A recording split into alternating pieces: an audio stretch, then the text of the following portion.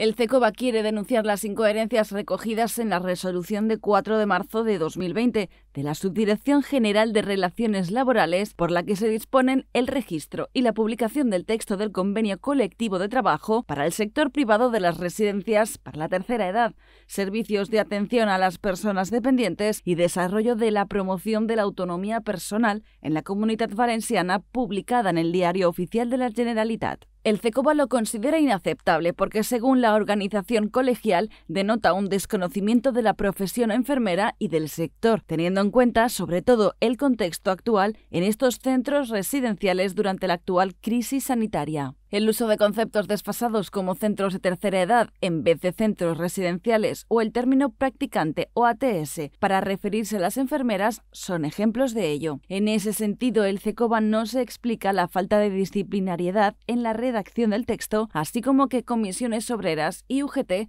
lo hayan suscrito. Del mismo modo, condenan que la profesión enfermera siga siendo considerada como Grupo B, con todos sus efectos. En base a esto, el CECOBA solicita una rectificación del documento en la que se contemple la función técnica y otros cometidos de la profesión y sugiere que estos centros residenciales deben estar dirigidos por enfermeras, que son quienes mejor conocen y pueden dar respuesta a las personas que se atienden ellos. Además, cree oportuna la realización de una auditoría para conocer la situación real de las residencias y que en base a ello se tomen las medidas necesarias contando con un mayor protagonismo de las enfermeras. De lo que no les cabe duda es de la menor incidencia de muertes en estos centros de haber contado con suficientes enfermeras, una situación de la que esperan se haya aprendido para afrontar un posible rebrote si llegara a producirse.